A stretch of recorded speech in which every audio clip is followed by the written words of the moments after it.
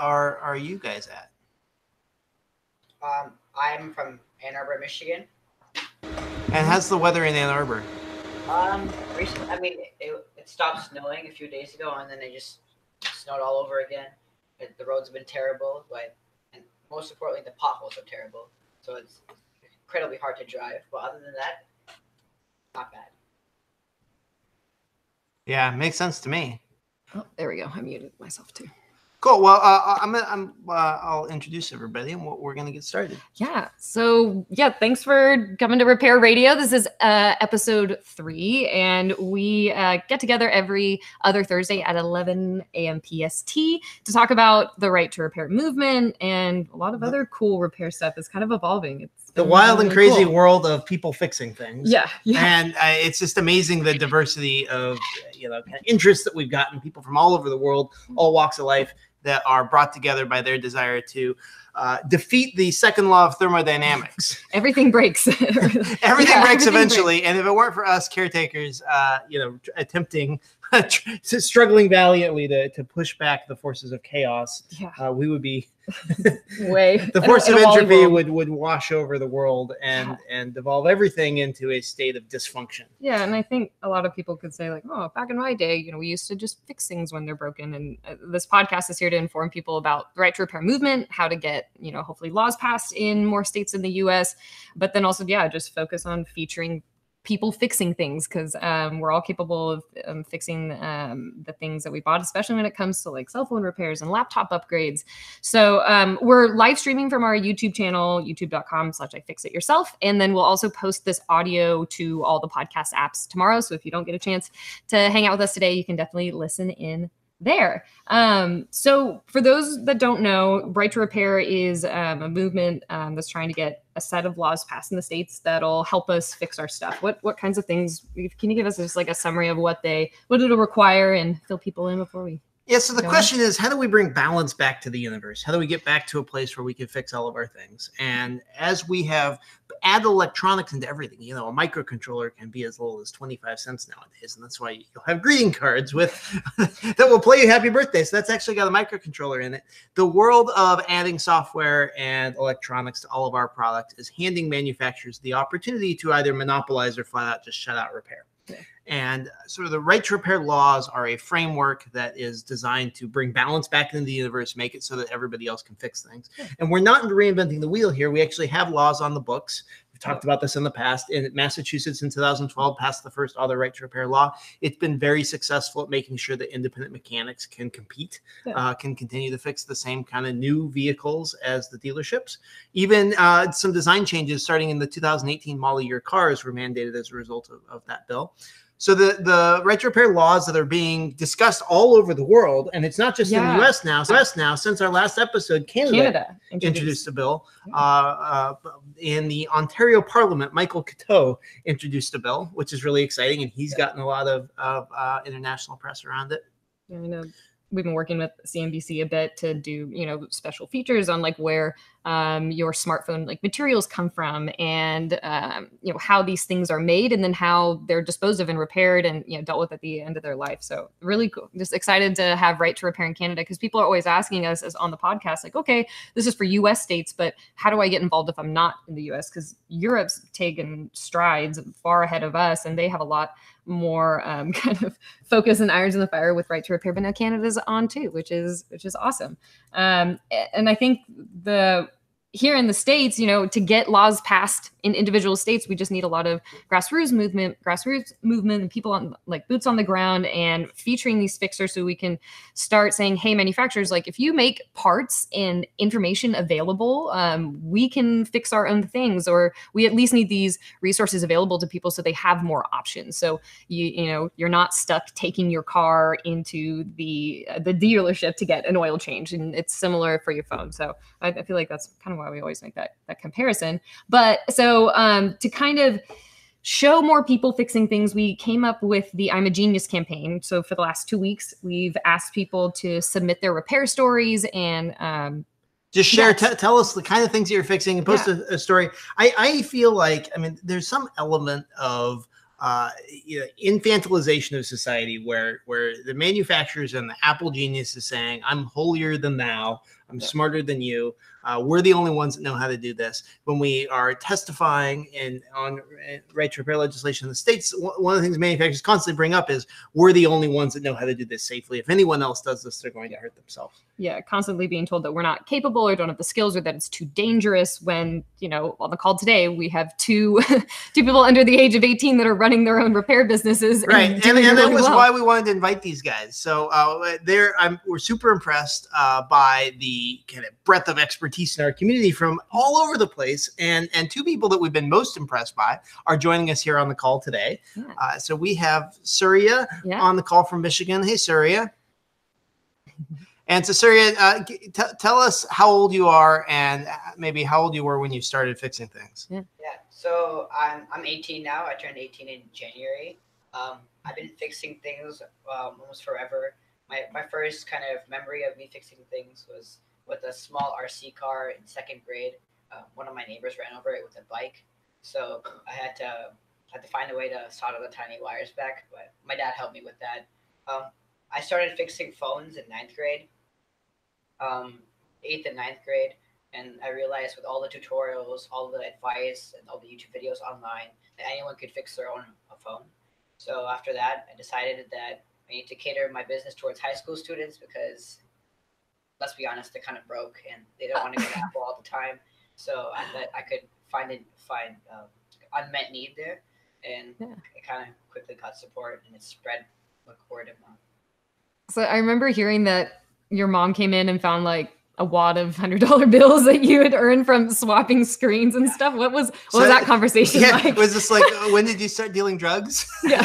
Well, it's a funny story about that. I actually had a shirt called "Got Cracks" on it. What sometimes the S folded over, so it's got and that combined with the wad of hundred dollar bills was like no. But my my mom, um, she, she was supportive, um, but make sure that I was allocating time towards my schoolwork and Yeah. also to my business on the side. So Well, time we really management is something I've learned a lot from this. Definitely. Well, we appreciate you guys taking the time out of school and stuff to be here. And congratulations on turning 18. Happy belated birthday. Big deal. Um, but yeah, no, that's just, it's incredible to see how you guys just start f- fixing one thing. And that was one thing with the I'm a Genius campaign. People were saying, I opened up one phone. And for me, it was very similar. And I fixed it. I opened up one phone, was like, oh, okay, well, now I can open cameras and laptops and things just aren't so scary. So that RC car kind of, you know, was pivotal to, you know, the it was rest the of gateway the drug gateway drug, the gateway, the gateway repair, the gateway break. That's so that's too funny. Um, Moses and his dad Mark are also here and have somewhat of a similar story with you know starting a repair, repair business. Yeah, tell us about um, Moses. Tell us about maybe your first couple fixes and how you decided to start your repair business and fixing things. Yo, um, first of all, Moses, how old are you? oh yeah, So I'm 15 and um I did my first repair in 2016, so I think I was 13 at that time, something like that. And it was a 2008 MacBook. Um, it had a cracked screen, and I got it for free from one of my dad's coworkers. And so yeah, that really started it all. That's a pretty advanced first repair. yeah. Yeah. Then I um fixed my sister's iPod Touch for later. Both pretty hard repairs. Yeah, that's not an easy repair either. So, so tell me, as you're as you're going through the process with this MacBook, you've got it. You know, the screen's broken, so you need to open it up somehow. What was your thought process? Um, well, I've always like liked Apple products and it was free, so I was like worse can go wrong, like nothing really can go wrong other than breaking it and I don't I don't lose anything. Right. So yeah, yeah. it's already That's- broken.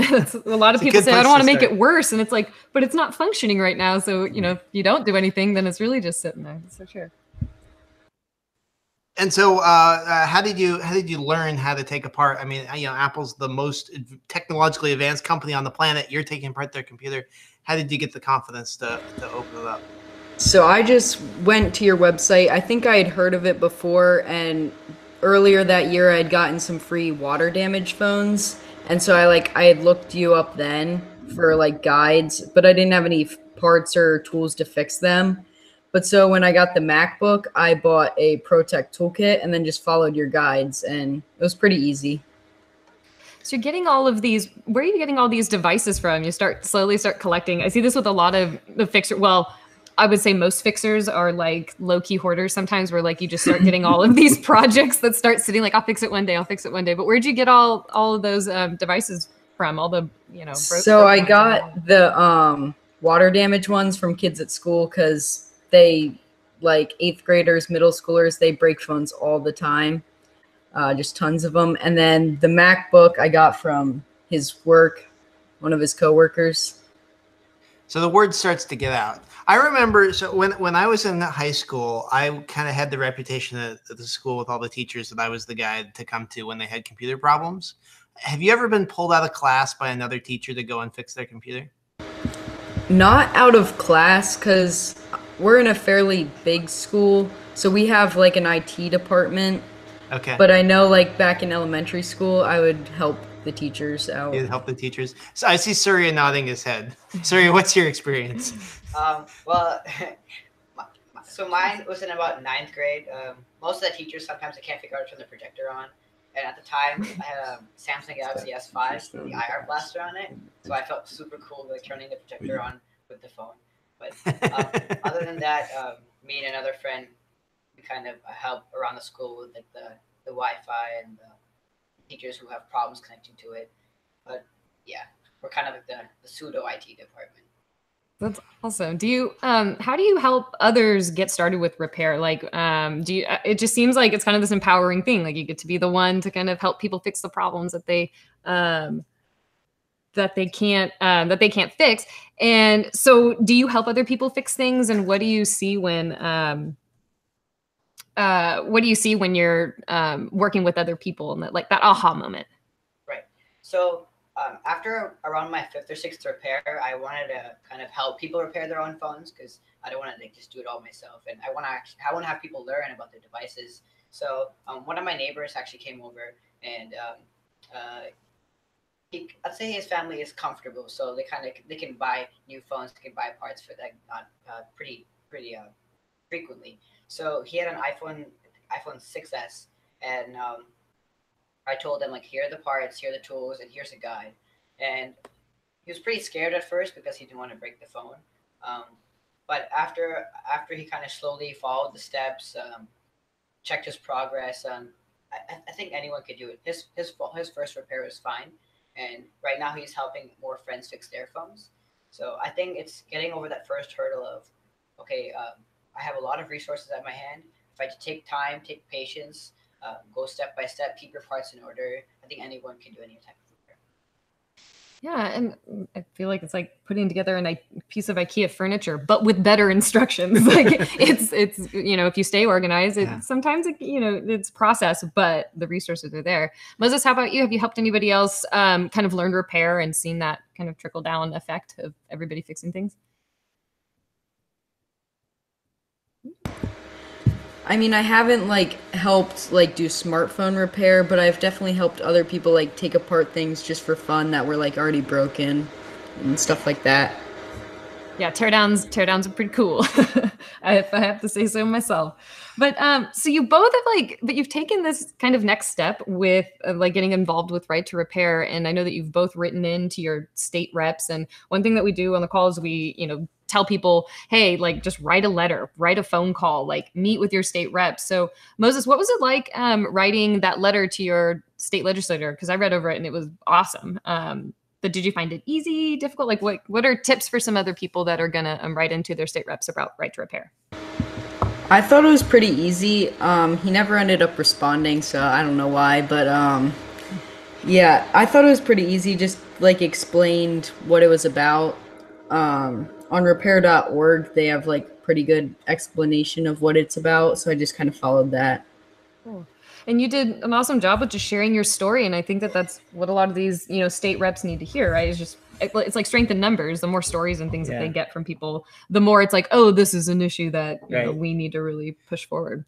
There, there was a there was a viral video this last week where a bunch of uh, kids from a California school were talking to Dianne Feinstein about the Green New Deal and saying, "Hey, what about us? What about like climate change is going to impact us? Why don't why don't you do something about us?" And she was so dismissive. Mhm. Uh, but but I don't. I, I, that's not the experience that we've gotten uh, from state reps with, with right to repair. I don't. I don't think. Yeah. And I think the same thing applies for e-waste. I mean, you could have the same a similar group of kids standing in front of people Right. saying, "Hey, if we don't do something now, it's going to turn into a, a WALL-E world of trash and the things." That's kind of like where we're headed. Surya, you you wrote to your state reps and you got a reply. I think did um did she call you? What was that reply like? And um yeah, fill us in on it. Um, so uh, I wrote it uh, after looking at repair.org, as Moses was saying. They have great resources on how to format your how to format your letters and everything.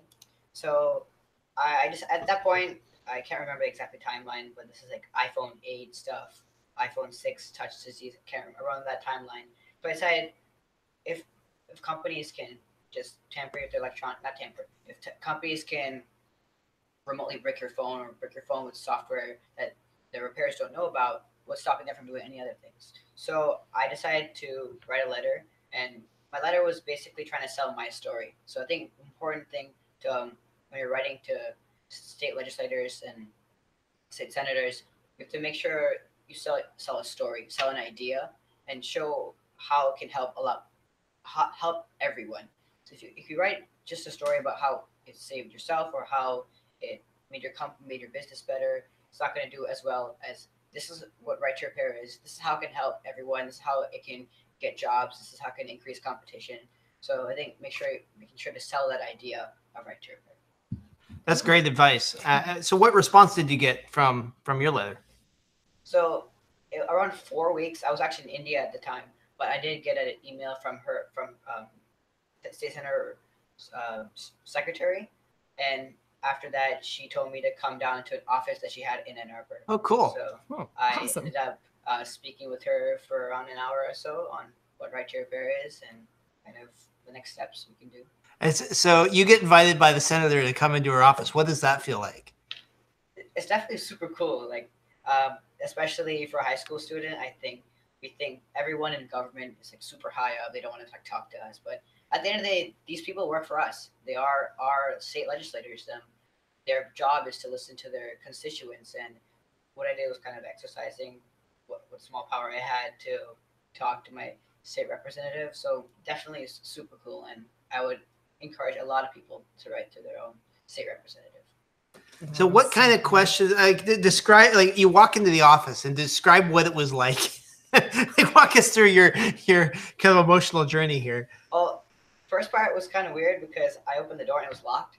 So um, I was like standing there for around 15, not 15, like 10, 15 minutes until someone like noticed a kid outside the door. Um, but after that, um, this lady, like really fancy lady with like this really fancy suits and everything, told we like to sit down, and I just waited. And then, but she had like a nice small conference room, and she, she was like another human being. It's not like some high And so- executive. so- that, So then the senator comes in, and what what was the what was her her first question for you? Um, oof. I think Or just like g- g- give us a bit of how the conversation went. Um, well, the conversation was definitely uh, very positive. She she kind of was familiar with right to repair, not um, like the, the auto right to repair. So she was familiar with how uh, mechanics were able to fix other cars, get parts from dealerships, get parts from other car companies, and she was inquiring about the situation with electronics. So I think she educated me on on the legislative end, and I had educated her on like the electronics end. So it was um, I, I learned a lot and she learned a lot and um, it was very very productive conversation That's great. I I mean- that's exactly the kind of thing that you want from elected representatives. right? yeah and you and you want to have that back and forth because you know going back to like the repair stories this applies to more than just phones and tablets and i think that when we're talking about right to repair we focus on that tech that a lot of people are uncomfortable with so if you can educate them better on the electronics aspect and get them to realize that it's more than just phones and laptops that need you know right to repair that that's huge and that opportunity is huge and so moses we got to maybe ping your your rep on um, twitter and See if we can get you a Hey! Yeah. Nice. So, um, Moses, like if right to repair passes, I know you know you haven't had a conversation with your state reps yet, but if right to repair passes, um, I guess what are you most excited about with right to repair passing, Um, or if you know if and when? Like, what does this world look like to you when it passes? I think it'd be nice to have like access to the tools to fix like Touch ID and Face ID because that's a big problem.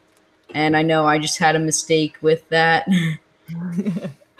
but like it's because yeah the resources aren't out there and that's why you know we do these teardowns and things to take them apart so people have a first look and like a sneak peek into like what you're getting into before you yeah you start Sure. fixing things So if you don't mind, Moses, and I think this is this is you know all of us make mistakes. Would you mind walking us through your Touch ID mistake? Uh, yeah. So I was taking the, I took the screen off and I was removing the home button on a seven, and I tried to get a spudger under it, and I just slipped a little, and the Yeah. cable's so fragile that it just split. It's Yeah. a super fragile cable. oh man. Uh, and and that's just so devastating because it's the one thing that you can't fix without Apple's fancy machine. Yep. So what did you end up doing with the phone? Um, so I found a micro soldering shop in New York, and I sent it to that. Fantastic. Yeah, so, so just to loop everybody in that isn't familiar with this particular problem, the Touch ID sensor on the iPhone is cryptographically tied to the main uh, board. And when Apple programs the the phones at the factory, they pair the the home button with the with the main uh, circuit board. If you do a repair later, if the home button fails, there's nothing you can do. Um, but if you're opening it and you accidentally damage that cable, you're stuck because now the, the fingerprint sensor won't work. And so either you have to fix the particular home button that you have, or you're out of luck. Uh, and and so your approach, I think, is a great one, which is to actually find a way to fix the individual cable, which requires probably equipment that is a little bit higher end than you can afford right now. But maybe that's something that, that you can work up to. There needs a yeah. microphone. That's that's my goal. I got a microscope, but now I'm working up to saving for a soldering iron. nice Fantastic. And if you've been watching uh, the videos, we had Louis Rossmann on uh, last last episode. Have you watched some of Louis's videos? Oh. You're muted. Yeah, yeah, I've watched both Louis and Jessa. cool So who would you say, you know, as you guys are are you kind of looking up to the the people who are repair professionals out there? Who do you look up to? Who are your heroes? I'll, I'll ask this of both of you, but we'll start with Moses. Um, so like I said, Louis and Jessa, they're both like great at micro soldering and like yeah. And then also um Federico Serva, I think is how you pronounce him. His name. He's in the UK and he also does micro soldering. And so yeah, probably those. Awesome.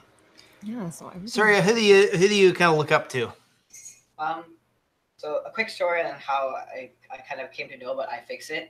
I was probably I was watching like Linus Tech Tips like a few years ago, and I saw his like embroidery toolkit. I just thought- Anyway, so Linus is great. I've actually been very interested in kind of the scope outside phones and tablets. So I've been watching a lot of car rebuilders. So um, people like B is for Build, uh, Tavarish. I like, I like those guys a lot. I think um, looking at how the car dealers and how the, the companies sell their parts is definitely very inspiring and something right to repair and some other, something other companies can look forward to.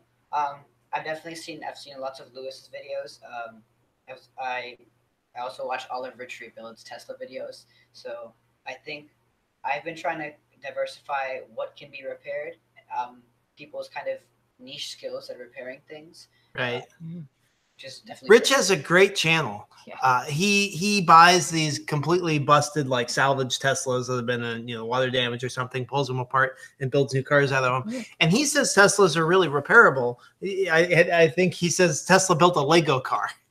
it's really easy to work on, uh, but there's no documentation, or there hasn't been documentation until recently. but there's got to be somebody to start. I feel like you started back in the day with Right. certain guides, and he's starting with those too. And that's because it's like, yeah, there are so many resources out there, but it's a matter of like to fix your thing, you need a whole set of resources because you need parts, tools, and you know schematics or guides or something. So, um, and that's you know, right to repair, I think will kind of bring everything together. And I think we were talking on Twitter, I think earlier this week, um, and you guys expressed some concern over like if right to repair it passes, will iFixit be be out of the job and like what'll happen? And really, when if, when right to repair passes, there'll just be more parts and more of these resources and things to, to go around because um, there are so many things that need to be fixed that you know iFixit and private repair shops, those micro solderers that you went to for for your phone, like we're always going to need them, and I feel like there'll never be enough. You know, like.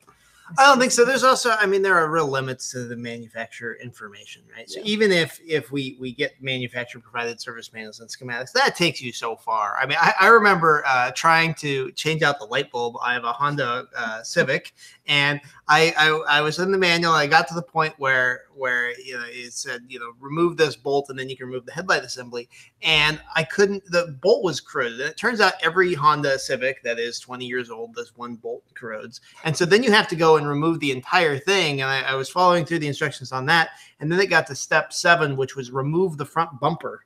It's like, oh no, this is not a Sunday night at 9 p.m. Where is this going? and my and that's the kind of thing that, that if that manual had had an opportunity to evolve and improve, it would have been better. So I, don't, I I- I think that some of the technology that that iFixit provides being a wiki, something that evolves, something where where we can have uh, expert members of the community like you guys join in and, and improve things that. I I don't think it will make iFix obsolete, but if it does, and all the manufacturers step up and have fantastic repair information, hey, the world's We probably win. better. And, and if we're not needed, I am fine to, you know, go solve some other problem. So I wanted to. We've got um, one of the parents here, Mark. Uh, Mark with. Um, I've. It's interesting seeing like some parents that kind of respond to kid fixers in like really positive way. You you're obviously one of them that like help support your son on this mission and his business and things. But then we've also got a lot of parents and a lot of people I think that are just like afraid of technology that are like afraid of their kids doing these things. It kind of goes back to like the safety issue that always gets brought Sure. up with state reps.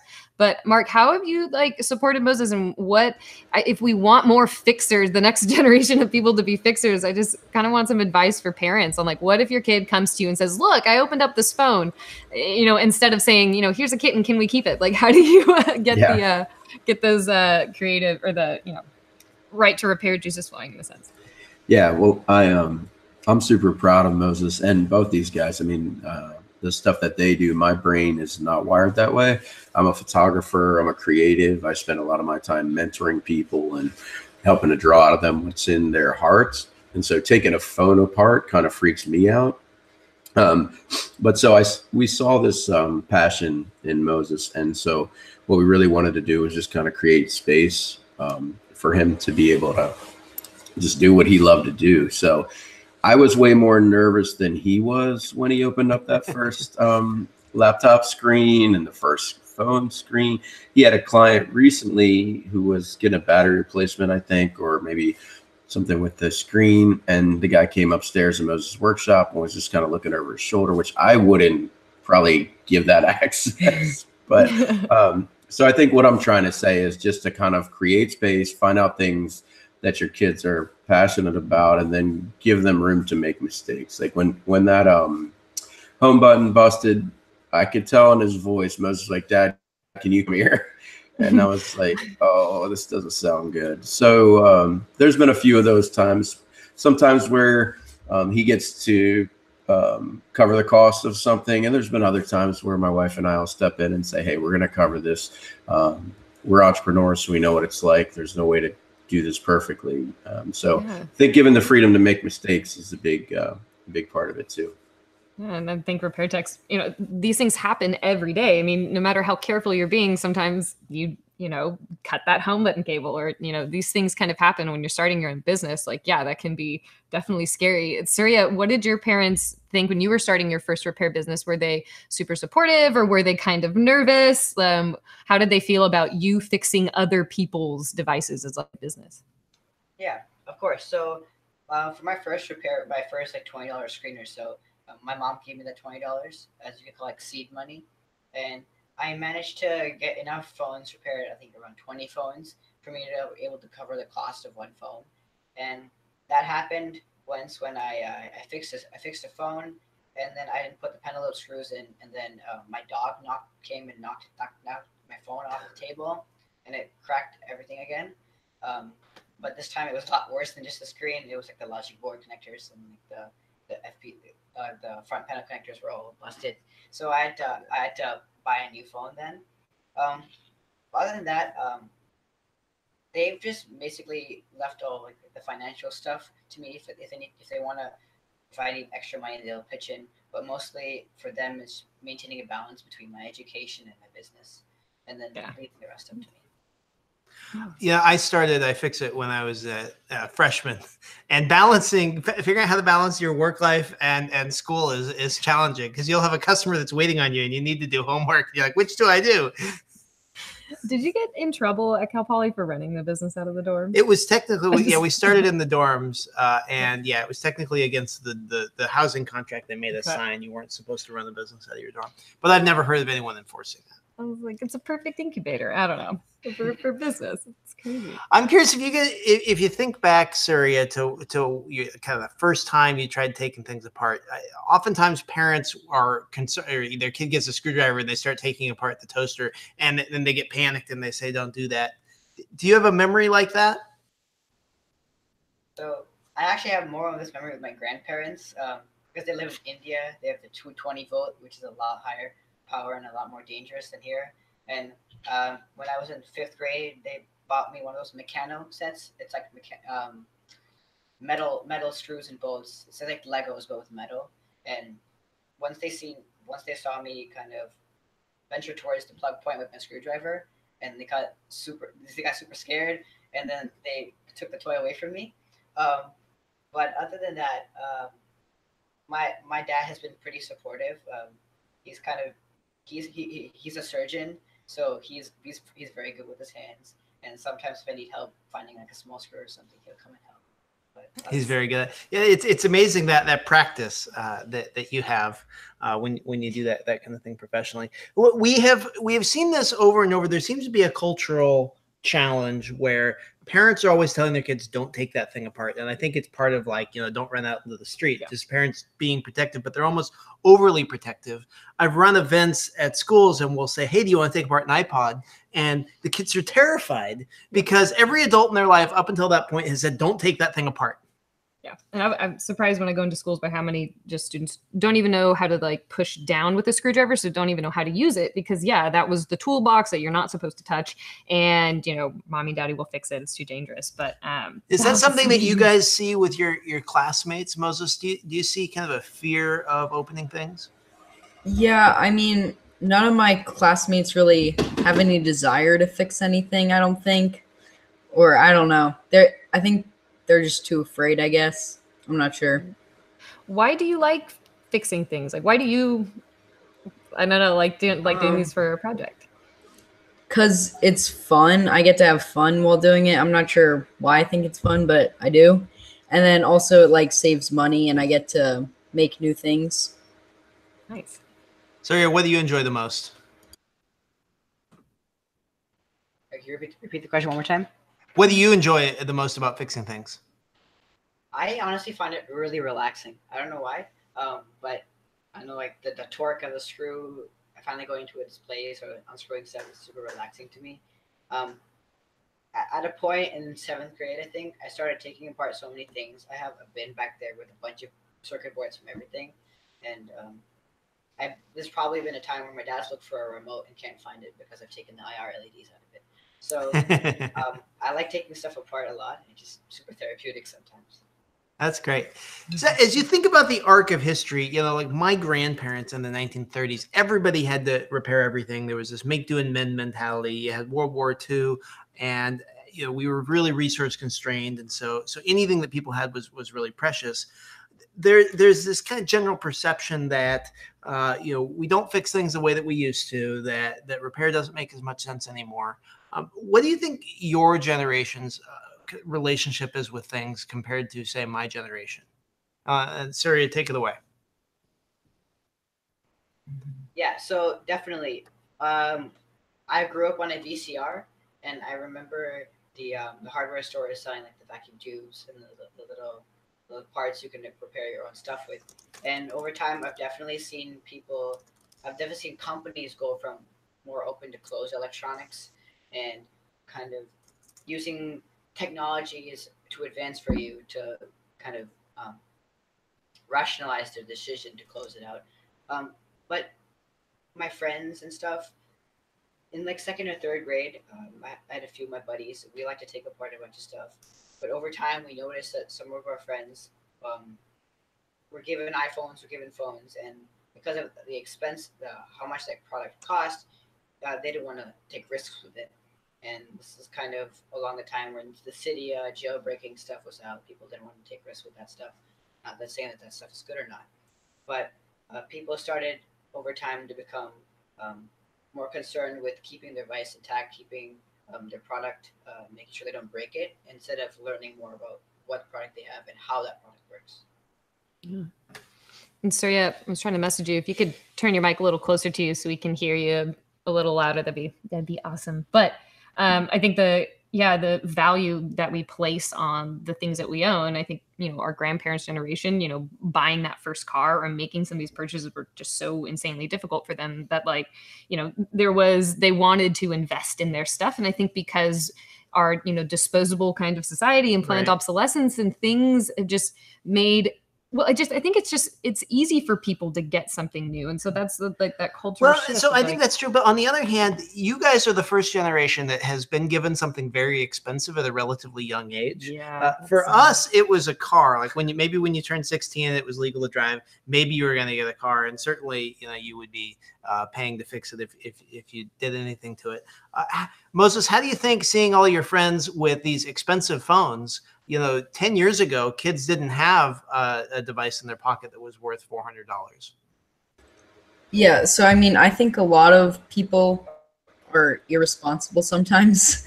Um, they like drop them and feel like people need to put screen protectors on more, but um but I feel like a lot of people just want the newest thing and a lot of my friends will just get the newest thing and yeah, they, I feel like they don't want it to get it repaired, they just want the newest device.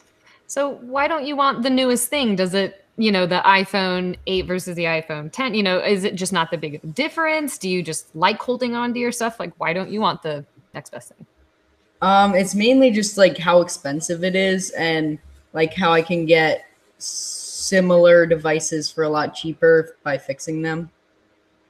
Yeah, makes sense to me. Uh, Thank you guys so much for joining us. This has been a fantastic conversation. yeah Uh, it's I think it's really interesting to see, uh, you know, how you know as as we you know the, the facts on the ground have changed. Right, people are, are kids have access to more and more advanced technology at a younger age, uh, and yet I think I think the the the fundamentals of whether you're you're tinkering with uh, transistor radio in the 80s or an Atari 2600 uh, for me, it was the early Macs in the, in the early 90s, and you guys are are working with with the modern smartphones. Kids are always going to be pushing the envelope of, of working with and breaking and fixing the oh i can't open this? I'm gonna try to open it no, So th- th- thank you guys so much for joining us and and for taking some time away from school. Really appreciate it. Yeah, and we've much. the yeah the I'm a Genius campaign um, is still going on all uh, through uh, the end of the month. And if you uh, share your repair story with hashtag I'm a Genius, um, you can take a look at Moses and Surya's submissions. Um, I've got a link in the description and just by following us on Twitter. And if you share your own video. To to the campaign we're going to pick um, 10 people to get a $100 gift card to the iFixit store so you could be one of the people to win that. So again we've i'm a genius has just been awesome. We've seen so many amazing videos ju- um, from these two as well and we'd love to hear more about your repair stories and why repair is important to you in your life. So um, feel free to yeah share another one with us and we'll be back here uh, next thursday for and we'll be bringing on some more um, right to repair advocates and talking a little bit more how you can get involved at the state level but um, yeah thanks again for being here everybody Yeah, thanks for having us on. absolutely we'll see you guys later Yeah. Bye bye.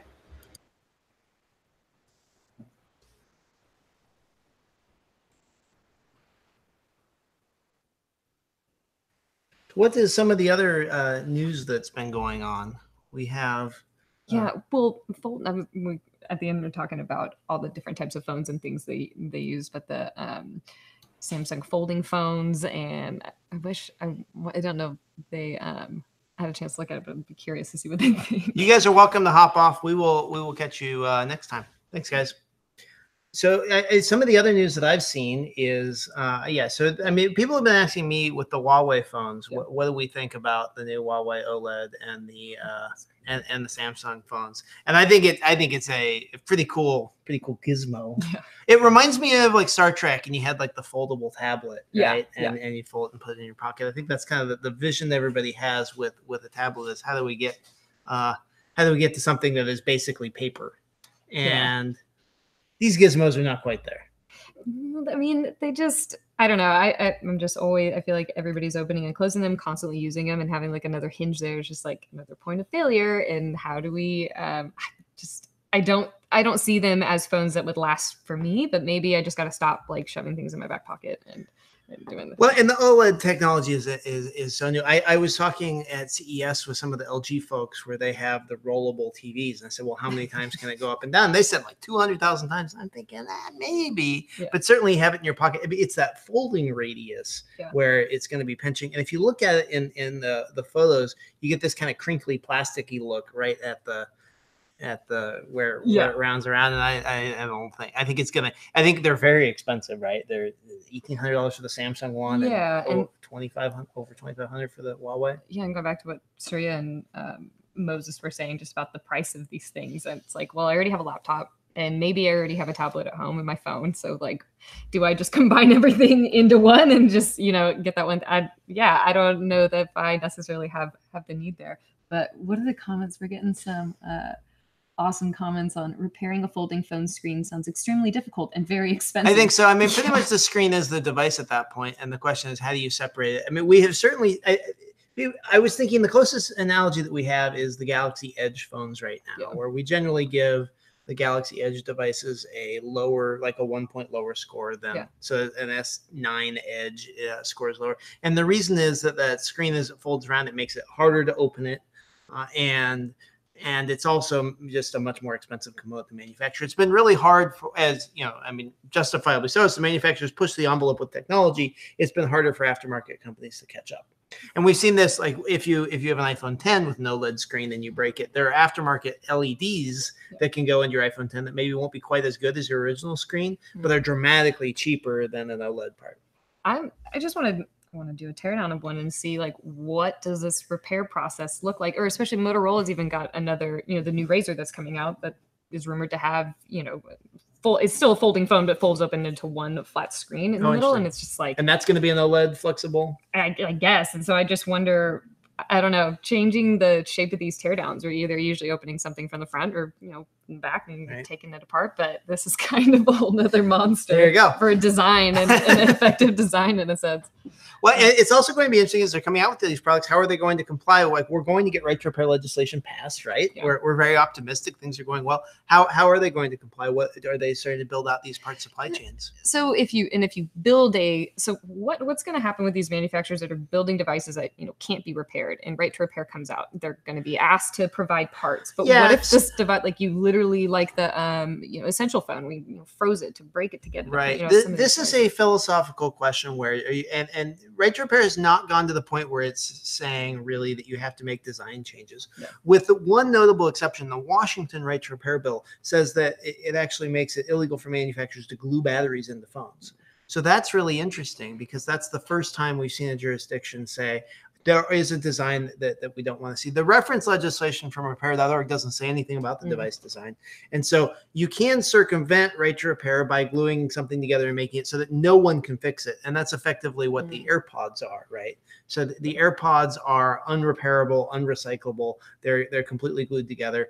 Apple uh, has a battery service for their 100 and uh, yeah it's it's a hundred dollars for a battery service for one of your earbuds or uh, what, what AirPods cost are they hundred and seventy million dollars Yeah, So it it doesn't even really make sense. Uh, that may be right to repair 2.0 uh, Yeah. we, we've seen some interest from Europe in regulating device design a little bit, and and so I think you may see. in regulating design doesn't mean you know stopping progress with technology it's just about doing it responsibly because i mean i think I, I always say this manufacturers have like a responsibility to develop and when they're selling a product it needs to last and so that means it needs to be repairable and and i think you can have repairable design and progressive design at the same time i think you know, one of the kickbacks we get is like, oh, this is going to stop innovation. And it's like, in what world? It, Innovate- right now. like, Please innovate in the space of repair. Yeah, please innovate in a way that's not going to kill the planet and all of our resources and these things. And yeah, I, I get the opportunity to work with industrial designers a lot, and we, we talk with them, and they talk about how they have design constraints. They're given objectives from the business. We want it to be this thick. We want the battery life to be this. We want the performance to be this. And if they're given repairability objectives, uh, these designers are very smart people. They're very capable of making these things repairable and accomplishing some of the other objectives. Yeah. There, there may be some trade offs that you're going to make, but we, I mean, as we work on our, our teardowns, we work on repairability reports, right? We get the chance to talk with with the product designers, and, and a lot of them say, look, we really would like to be able to prioritize repairability. We need assistance from the business. We need assistance from Mhm. marketing and management to decide to make it a priority. And but I think that's where you know our teardowns and our repair repairability assessments come in, um, and to have that, di- I, I think it'd be nice just to have more of an open dialogue with that. I think manufacturers are scared to talk to us. Well, that, that's going to come down to consumers, right? Having the conversation. Yeah. It comes down to gadget reviewers. Like, where is, uh, right, the, the Yeah. Verge or or Wirecutter or some of these you know, industry leading news organizations should be uh, making repairability a priority in their reviews.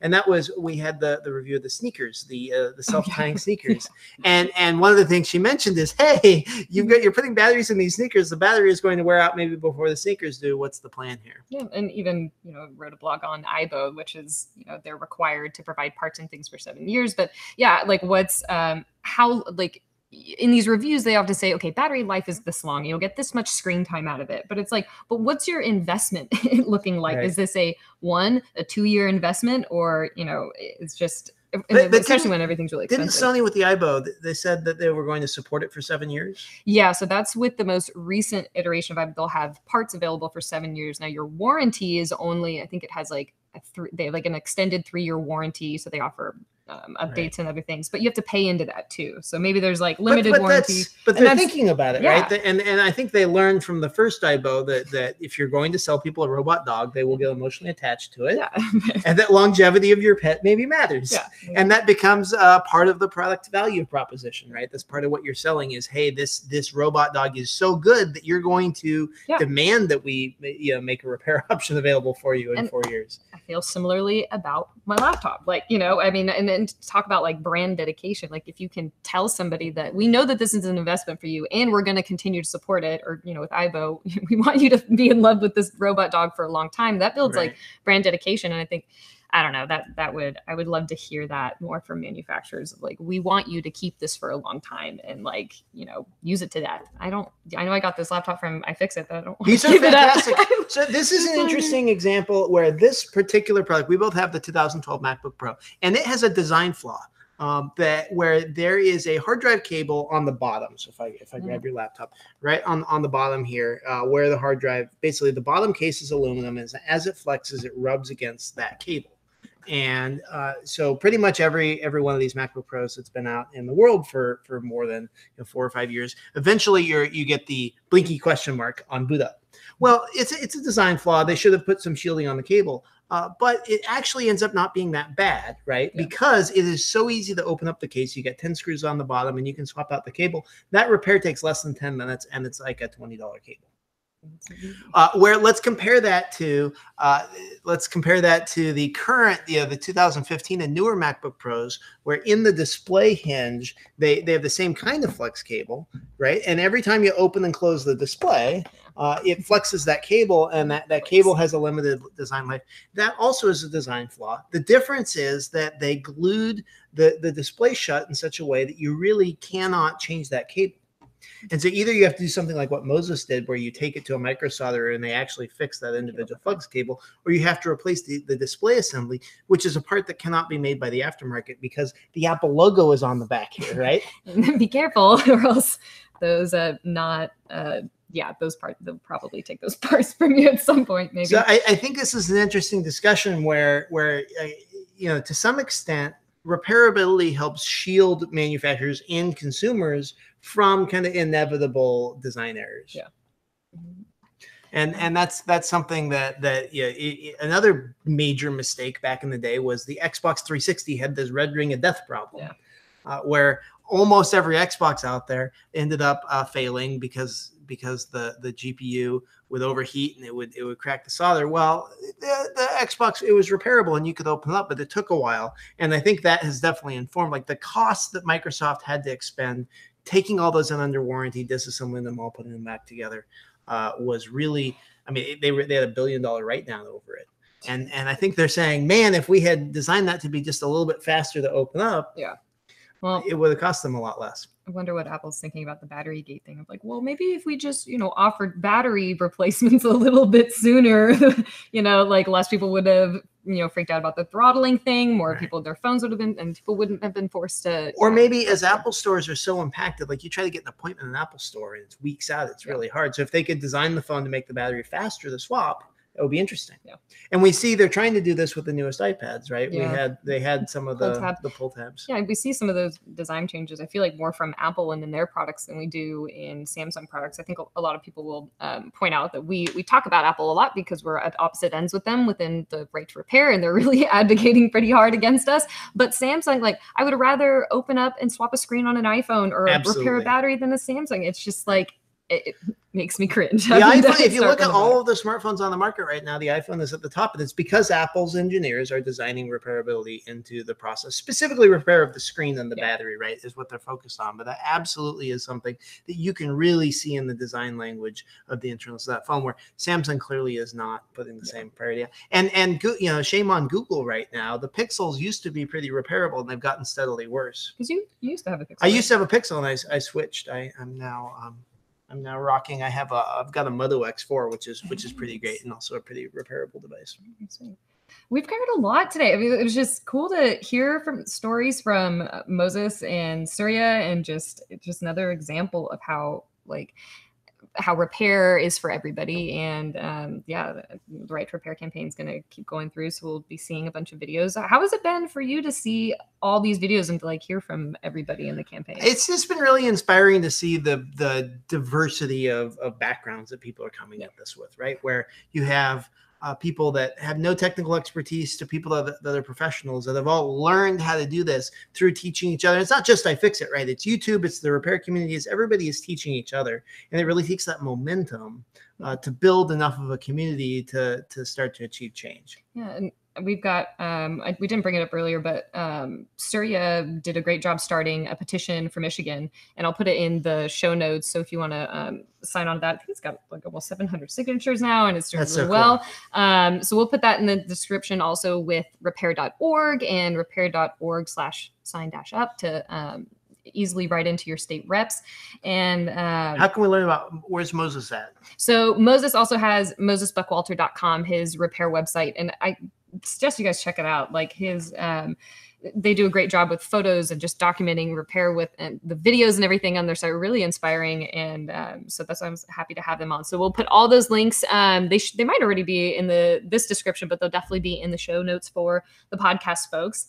And uh, yeah, don't forget to share your videos for I'm a Genius. And we're going to be putting all of those together into two compilation videos on our channel. So you'll actually be able to see um, all of our favorite submissions and everything there. And um, yeah, it's really important to show the world that we can fix all these things. So definitely share your stories with us. the legislative season is in full swing right now. So we had uh, we had hearings in Washington on right to repair. We we got voted out of committee in Washington, which is fantastic. We're anticipating we will see bills being introduced uh, in in some more states coming up soon.